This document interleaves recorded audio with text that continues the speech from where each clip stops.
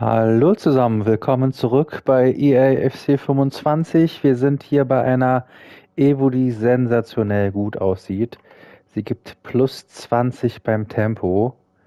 Ist für Innenverteidiger maximal 83 und sie ist kostenlos. Und wir sehen, es gibt nicht nur Tempo, es gibt auch Schießen. Es gibt leider nicht Passen, es gibt aber Dribbling dazu. Das heißt also gute äh, Tempo-Boost und ein bisschen Dribbling das sieht sehr, sehr, sehr attraktiv aus für den einen oder anderen Innenverteidiger, der vielleicht das Tempo bisher nicht hat.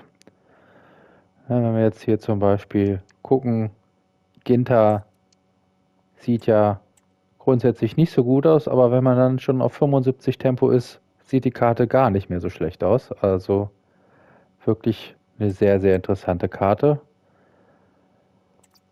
werden wir uns auf jeden Fall machen. Wir gucken nur mal, wo müssen wir dann die Aufgaben machen. Ist das wieder in Rush? Äh, gucken wir kurz mal. Ja, wir müssen dann Rush spielen, um die entsprechend zu bekommen. Und man muss sogar ziemlich viele Spiele gewinnen. Wird eine Herausforderung, aber wir haben jetzt eh viel Zeit zum Rush spielen. Wir haben nämlich auch bei Ziele wieder was Neues bekommen.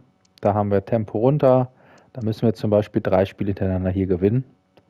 Als eine Aufgabe in separaten Partien Tore vorbereiten und zehn Spiele davon spielen. Haben wir nur drei Tage Zeit für, also viel Spaß damit. Dann haben wir unter Meilensteine die Teamgrundlagen Roschen Saudi League, wo wir Gabriel Vega bekommen, einer der Jungen, der gewechselt ist. Karte sieht, naja, ist eine 84er, die wir umsonst bekommen. Können wir in Squad Battles oder Rivals machen, angeknüpften Schuss, 10 Tore mit Roschen, Saudi Profi, dann 10 Spiele machen mit zwei Roschen in der Startelf und davon 6 gewinnen. Sollte machbar sein.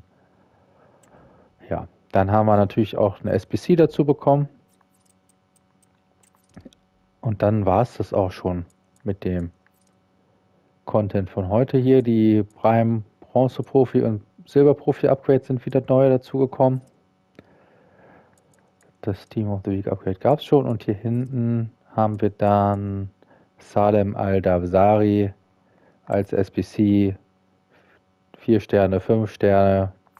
Attribute sind okay, aber auch nicht super toll. Also davon haben wir schon einige Karten bekommen. Playstyles sind auch okay, mehr nicht. Ist eine SBC, wird wahrscheinlich günstig sein. 84er und ein Team of the Week, das sollte man hinbekommen. Also mit Duplikaten irgendwie tauschen geht vielleicht klar. Ansonsten ist es halt nicht gut zu linken. Ne? Also Saudi League und dann entsprechend ein Spieler aus Saudi-Arabien wird schwer. Ja, gut. Dann war es das für den Content heute. Ich wünsche euch viel Packlack. Bis dann. Ciao, ciao.